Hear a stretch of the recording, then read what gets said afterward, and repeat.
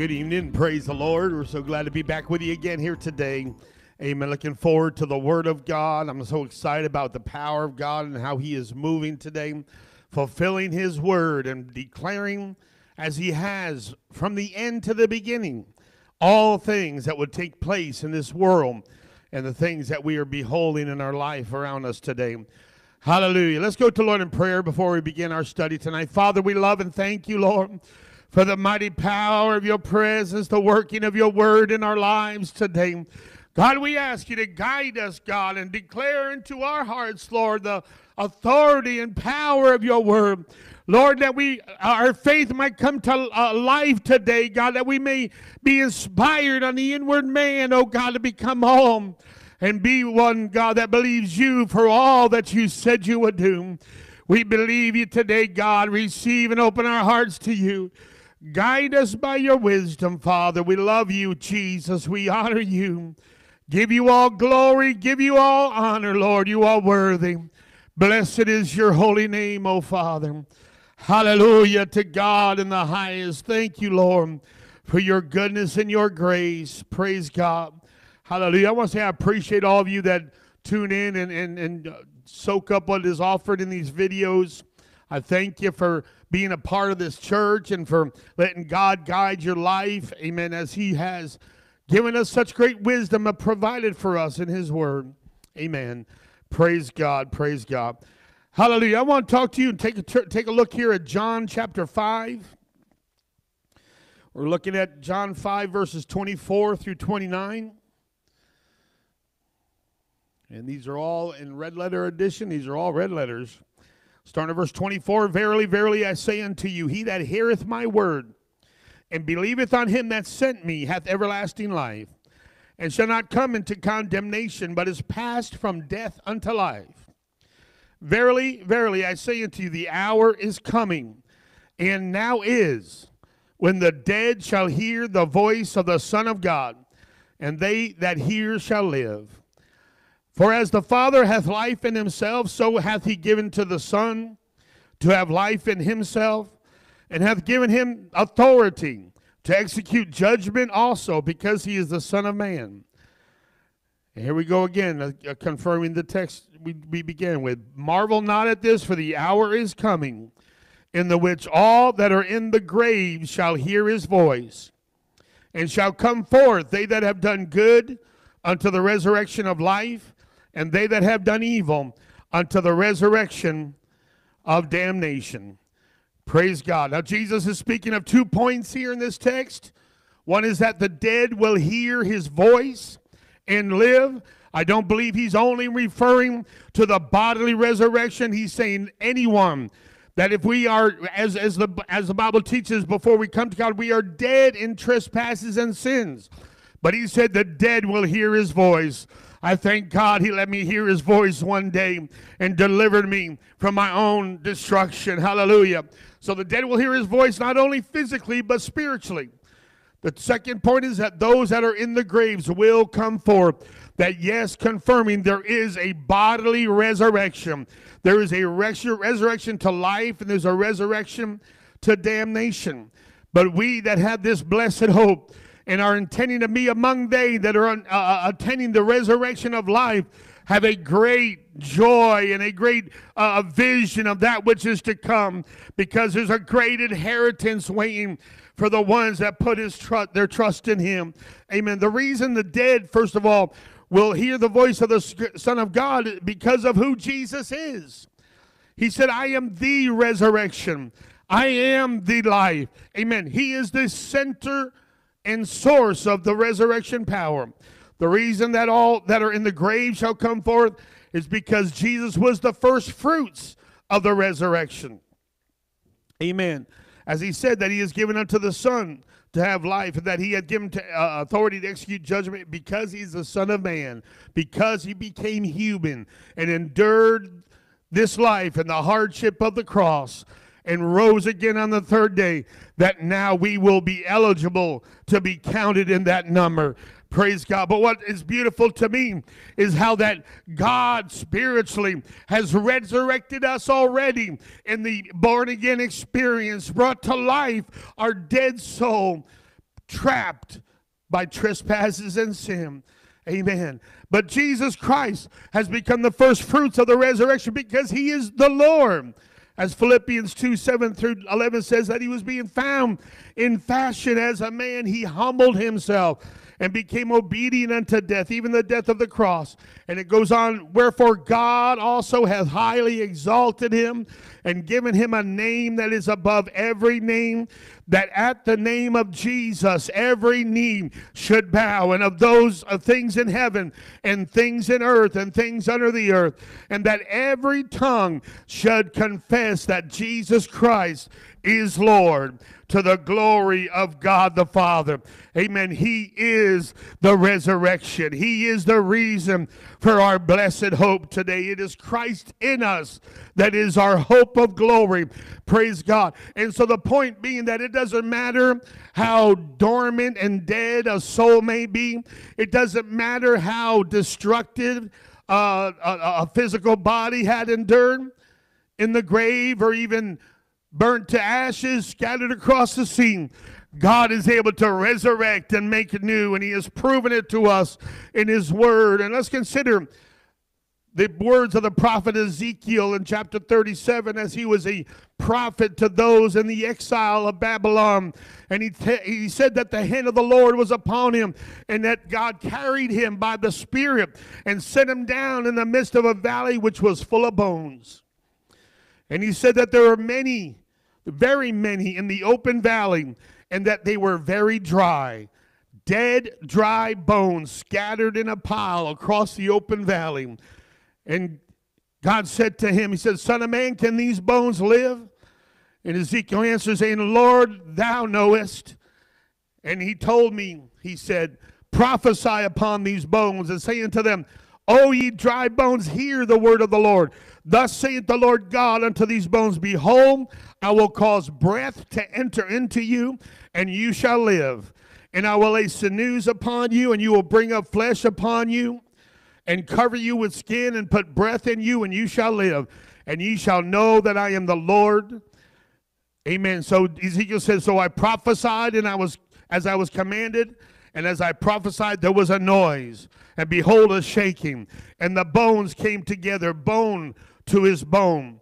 And when I beheld, lo, the sinews and flesh came up upon them, skin covered them above, and when there was, but there was no breath yet in them. And then God said to me, Ezekiel said, Prophesy unto the wind, prophesy, son of man, and say to the wind, Thus saith the Lord God, Come from the four winds, O breath, and breathe upon these slain, that they may live. So he said, I prophesied as he commanded, and breath came into them, and they lived and stood up upon their feet, an exceeding great army. And he said to me, These bones are the whole house of Israel. Eh, behold, they say, Our bones are dried, our hope is lost, we are cut off from our parts. But he said, Prophesy, thus saith the Lord God, Behold, O my people, I will open your graves and cause you to come up out of your graves and bring you into the land of Israel. And you shall know that I am the Lord when I have opened your graves, O my people, and brought you up out of their graves. And I shall put my spirit in you, and you shall live, and I shall place you in your own land. Then shall you know that the Lord have spoken and performed it, saith the Lord. Hallelujah. Amen. So think about what he's saying here. And I do want to, to, state, first of all, that this prophecy in its most complete fulfillment is the restoration of the nation of Israel back into the promised land. God brought it up from the dead. They were a people scattered. They were a people that appeared to have been destroyed. And God was able to resurrect this nation in these end times to fulfill his word. Amen. But oh, how he declared the power of the resurrection and the ability to restore something that was completely dead and dormant and dry and destroyed. Amen. And a lot of people continue to ask the same question today Can these bones live?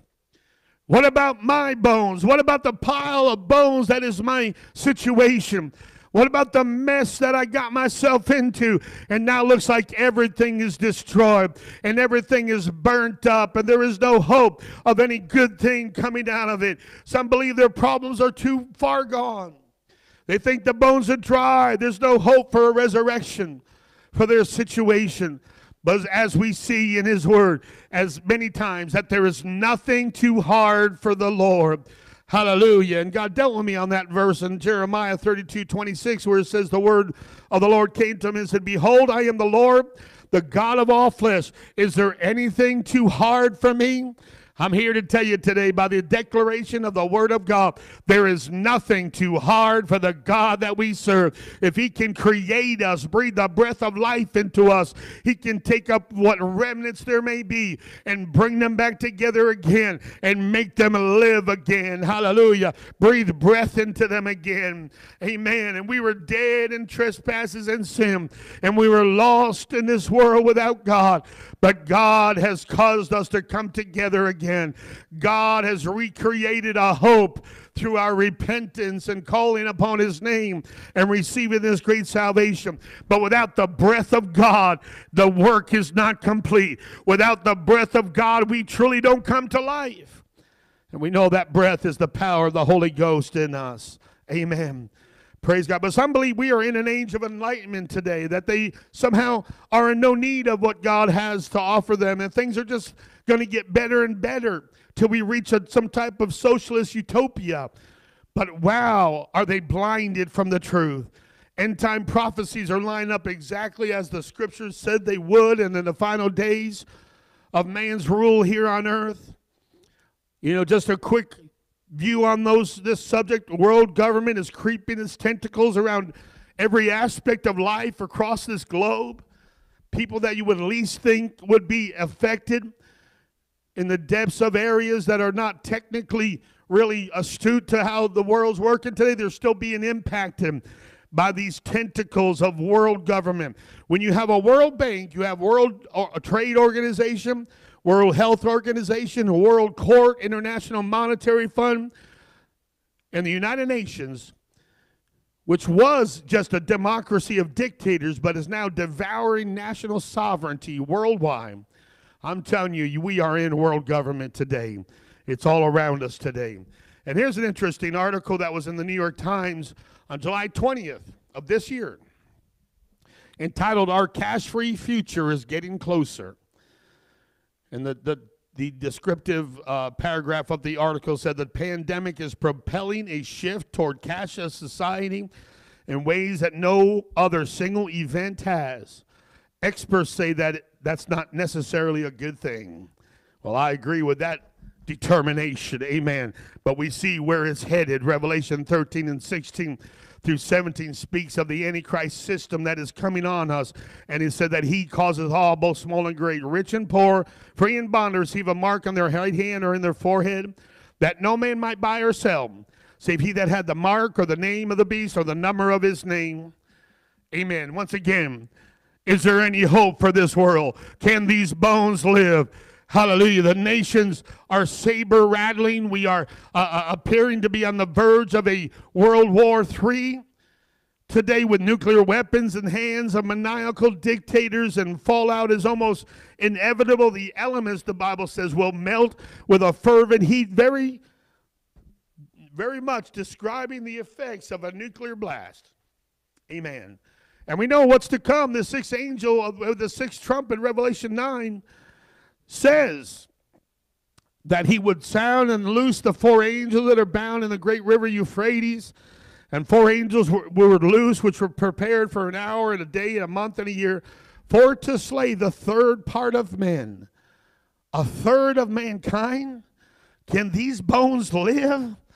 I'm telling you, yes. With faith in the God that made us, with faith in Jesus Christ, there will be a resurrection. There will be a restoration. There will be an opportunity for this world to continue in the blessings of God in the millennial age of the rule of Jesus Christ.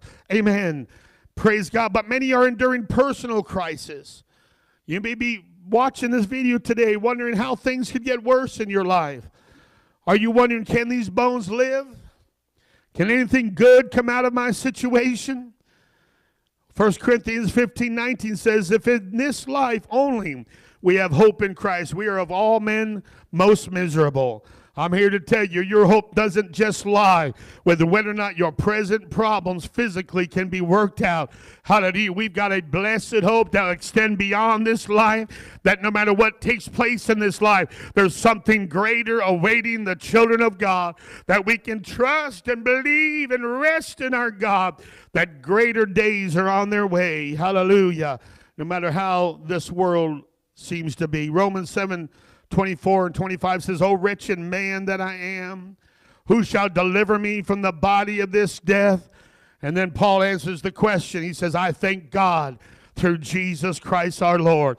Yeah, we're in a body of sin and death. We're in a world that is lost. We're in a situation where things look like they're falling apart. But God is able to put bone to bone and restore, hallelujah, and make the bones live. Amen. It seems hopeless. It seems like there's no way out. Maybe it's time for you to really consider the God of the resurrection. If we really believe what we say and what His Word has declared, what he testified and said he was, then we know that if he can raise the dead, he can deal with my situation and yours as well. Amen. He came on a mission. He came to supply the death, burial, and resurrection. He came to make a way where there was no way. Came to save humanity when there was no other possible means by which we could be delivered from our own destruction. Hallelujah. Amen. He can make the dead hear his voice. Think about that. He makes the dead hear his voice. He made the storm hear his voice. He spoke to the wind and told it to calm, and it obeyed his voice. Amen. He recognized the voice of the Creator and obeyed him. Well, even the dead will hear the voice of Jesus Christ. I'm glad, so glad that when I was dead in trespasses and sin, when I was lost and undone, when I was headed for destruction, hallelujah, I heard the voice of the God of glory calling my name, and the dead heard his voice and these bones begin to live again. Praise God, praise God. Amen. And Isaiah, the great prophet, described what Jesus would endure when he came to pay that price, saying, He is despised and rejected of men, a man of sorrows, acquainted with grief and, and we hid, as it were, our faces from him.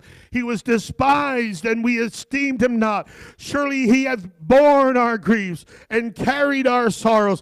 Yet we did esteem him stricken, smitten of God, and afflicted. But he was wounded for our transgressions, he was bruised for our iniquities. The chastisement of our peace that we would have had, the lack of that peace, the chastisement of him it was put upon him. And with his stripes, that whip on his back, the prophet said, We are healed.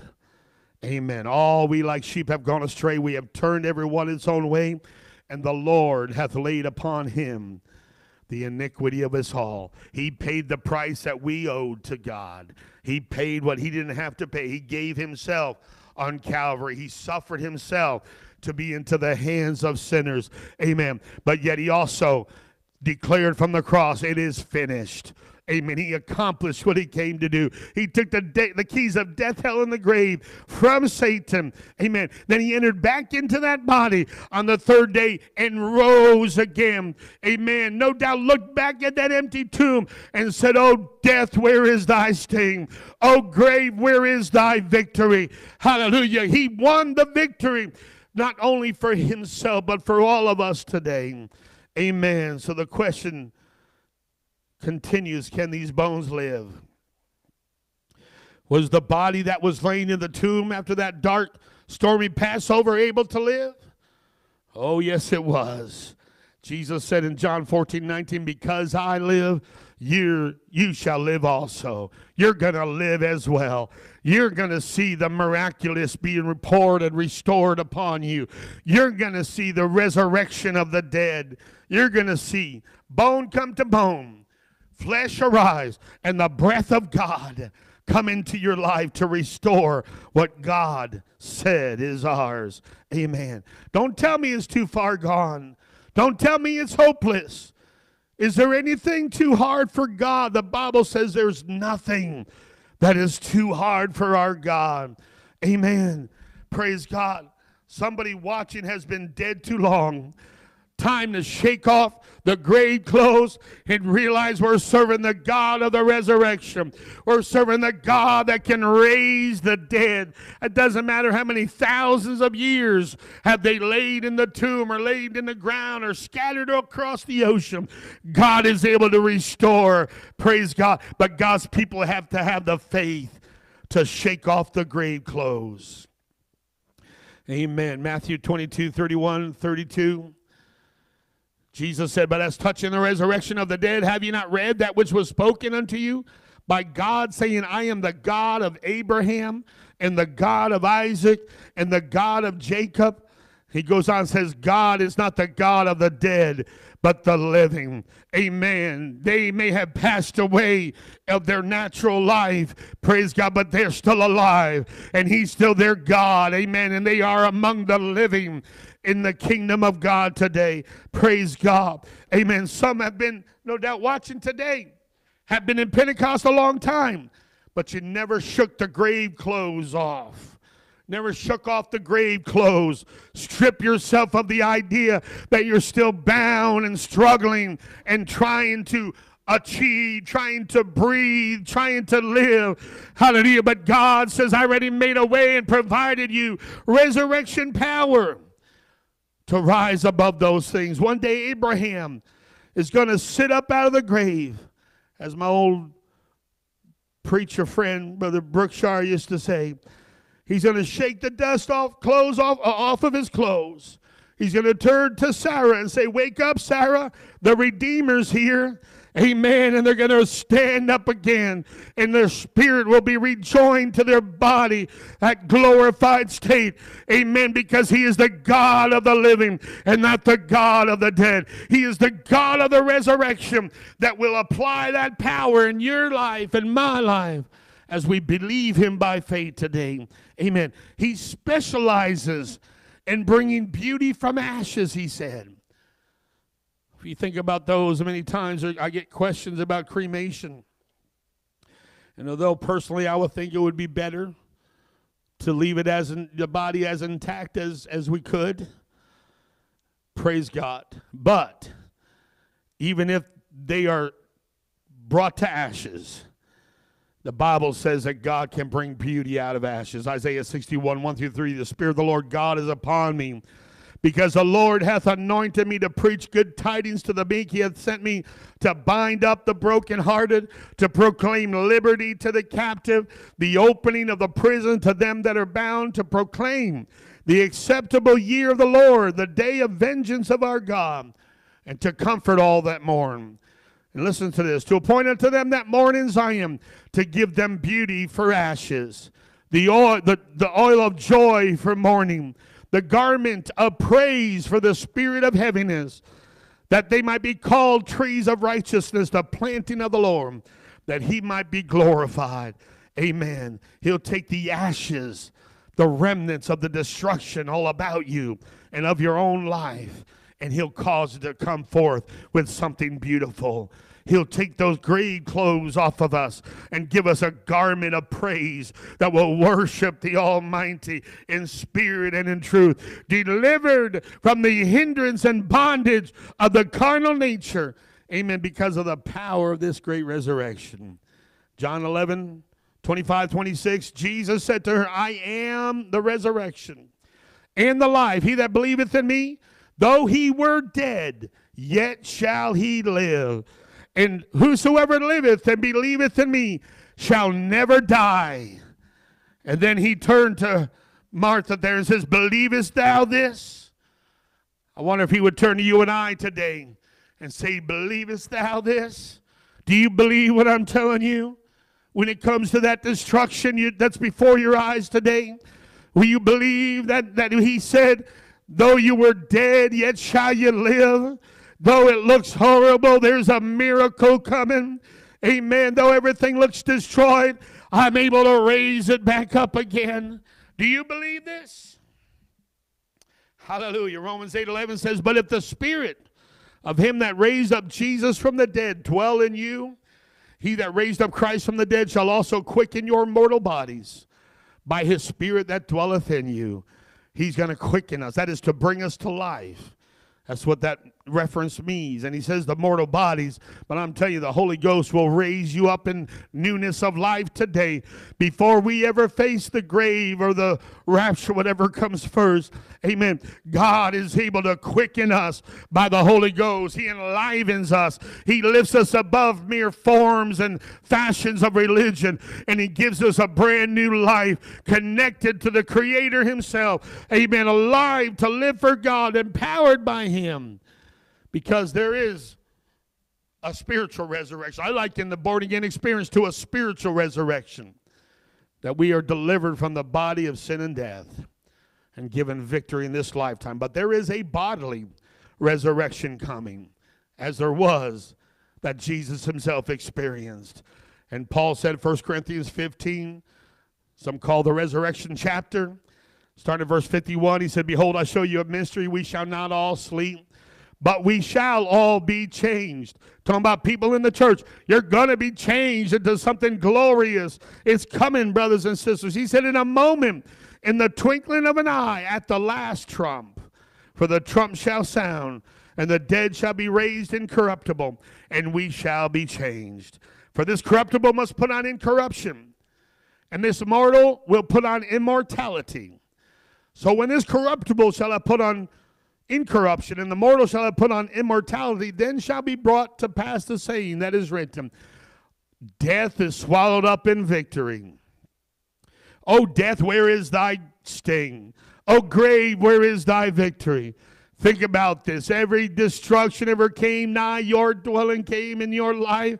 He said that death is going to be swallowed up in victory. He's going to overcome it all with one big gulp. The God of the resurrection swallowed up the uh, death. He destroyed death. He took control over death. He swallowed up hopelessness. He swallowed up defeat. He swallowed up all devastation. Nothing is too hard for our God. Hallelujah. Amen. Romans 8 9 says, But you are not in the flesh, but in the Spirit, if so be that the Spirit of God dwell in you. Now, if any man have not the Spirit of Christ, he is none of his. He's saying we need to have that Spirit. We need to have that Spirit of the resurrection. Hallelujah. Amen. And when we do, we are no longer merely in this flesh. We no longer abide by carnal ideas and rules. We are lifted up into the realm of the Spirit to walk in resurrection power, and newness of life. Hallelujah. You must have the Holy Ghost dwelling in you if you are to hear his voice and be raised from the dead and unto eternal life. I want to hear his voice. I want to be in tune with his voice. I want to have the spirit that quickeneth, that quickeneth us. Amen. Alive in my soul so that I can hear the voice of God. And that's that's been the theme throughout the Word of God when it comes to those that come to Him and are transformed by Him. Ezekiel 36, 26 and 27 says, A new heart also will I give unto you, and a new spirit will I put within you. And I will take away the stony heart out of your flesh, and I will give you a heart of flesh. I will put my spirit within you and cause you to walk in my statutes, and you shall keep my judgments and do them. Hallelujah. How many know what it's like to have a stony heart? I used to have one. I know a lot of people that still have that today. They're bound and darkened and uh, living in, in, struggling in tough times because sin has darkened the heart. Hallelujah. But he says, I'm going to give you a brand new heart. I'm going to put my spirit in you. And he said that the spirit will cause us to walk in his statutes. It's not trying to do good, trying to obey a list of rules. It's letting God's spirit take reign in our lives, transforming and empowering us and putting in us the desire to serve him in all his ways. Hallelujah. Praise God. So Romans 6, 4 and 7 says, Therefore we are buried with him by baptism unto death, that like as Christ was raised up from the dead by the glory of the Father, even so we also should walk in newness of life. For if we have been planted together in the likeness of his death, we shall be also in the likeness of his resurrection knowing this, that the old man is crucified with him, that the body of sin might be destroyed, that henceforth we should not serve sin. For he that is dead is freed from sin. Now, if we be dead with Christ, we believe that we shall also live with him.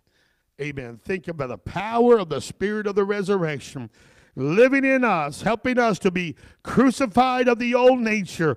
Sin would be destroying in our lives. We would stop serving sin and be free to live for God, that we shall live with Him. There's life abundant in the power of the Spirit, there's life abundant in the power of the resurrection. Amen. As I said, I believe we are already spiritually resurrected when we are born of the water and of the Spirit. Praise God. Romans 6:11 further on that same chapter to 14 likewise reckon ye also yourselves to be dead indeed unto sin. Consider ourselves we should consider ourselves dead to sin but alive unto God through Jesus Christ our Lord. Then he goes on let not sin reign therefore in your mortal body that you should obey it in the lust thereof. Neither yield ye your members as instruments of unrighteousness unto sin but yield yourselves to God as those that are alive from the dead, and your members as instruments of righteousness unto God.